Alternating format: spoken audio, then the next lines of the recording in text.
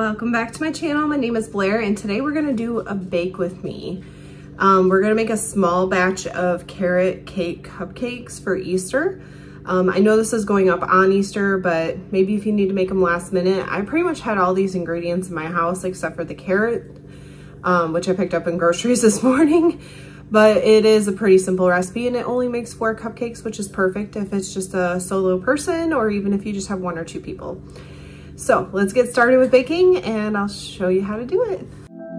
So to get started, we're gonna preheat the oven to 350. And I already prepped these, but you wanna get your pan ready with either cupcake liners, spray them, or I use parchment paper. So I've prepped up all the ingredients, so I just thought I'd share, but this is a small batch, so there's obviously not like a ton. Um, starting back here, we have flour, salt, and baking powder. And then I have vegetable oil, white sugar, brown sugar, and then for your seasonings, there's ginger, cinnamon, and a tiny bit of nutmeg. You need a half a cup of carrots that have been grated. I did it on the side of this cheese grater. Uh, vanilla and one egg. So to start in a medium bowl, we're gonna put together our dry ingredients, so the flour, salt, and baking powder, as well as your spices, which again was cinnamon, nutmeg, and ginger. We're gonna whisk this together till it's all blended quite well.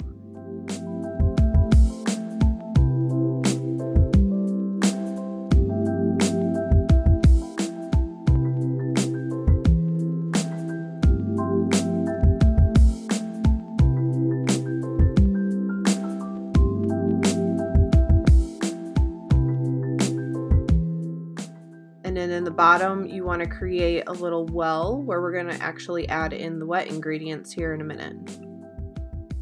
So in the little well that you created, you're going to add your egg, the sugars,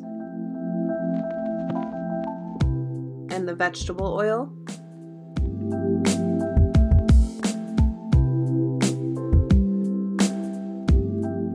Fork, you want to mix together everything till it's starting to get smooth.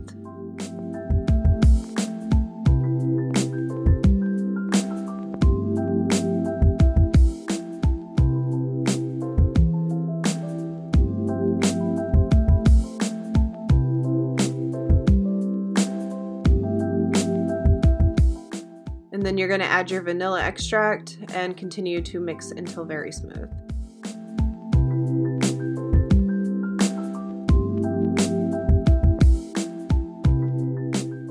Once the mixture is smooth, we're going to add in our carrots and you'll fold these in until it's combined. Don't overdo it, but just till it's blended well.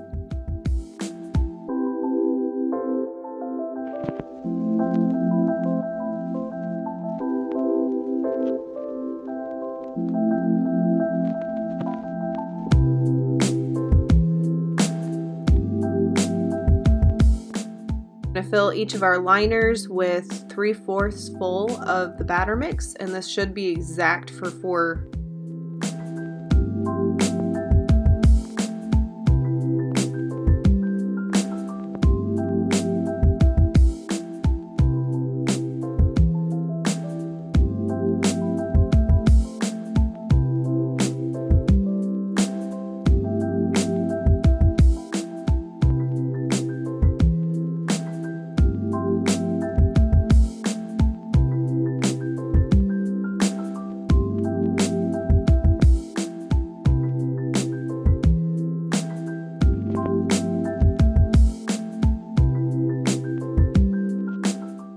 Then we're gonna bake these. It's said to do 15 to 17 minutes. I will say it took about 20 in my oven.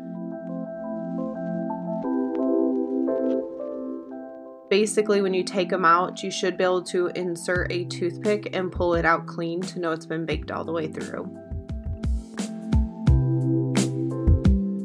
So now that the cupcakes are fully cooled, I moved them to this um, turntable thing but we're gonna ice them. So I bought the Duncan Hines whipped cream cheese because it's gonna be easier to navigate. But I'm gonna show you a way to ice with, make it look more put together um, if you don't have like an icing bag and tips.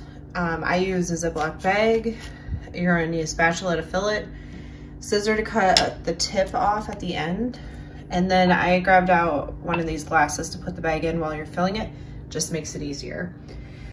So for this trick, you're gonna open up the Ziploc bag and I put it inside a glass so it would stand upright. It's just easier to fill that way. And then you can also fold the sides down over the edge of the cup to keep them clean.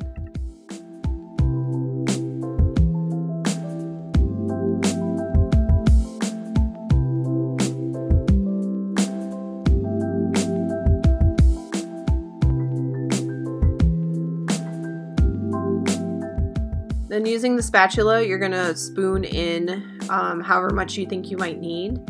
I wouldn't overdo it. You don't wanna fill the bag entirely full.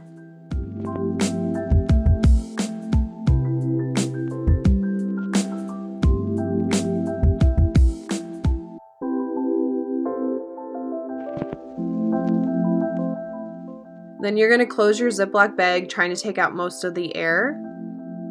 And from here, you're gonna cut the clean corner, the tip off of it. Don't make this too big. You wanna keep it rather small so it's easier to control what's coming out.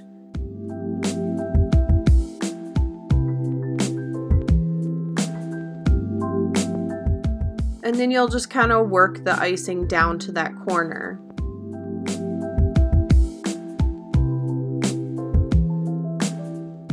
And then this way you just hold the end of the bag and you're able to squeeze out the icing and have a little more control over how you're doing it. Normally this would come out a little smoother, I think with regular cupcake liners, but because I used parchment paper, it was kind of jagged and not smooth edged.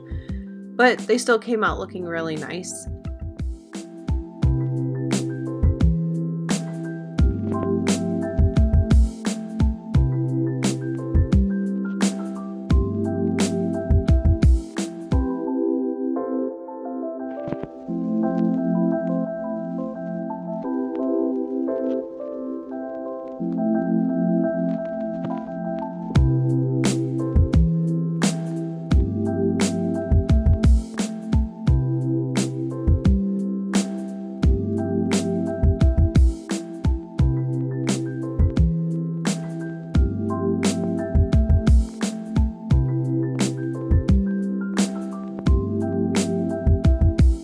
And there you have it, small batch carrot cake cupcakes. I would taste test them for you, but these are for Easter tomorrow for me and a few friends, so I'm taking them with me. Um, but I'm pretty sure they're good. I tasted a little bit of the batter on my finger and it wasn't bad. So I hope you enjoyed. As always, I hope everybody has a blessed day.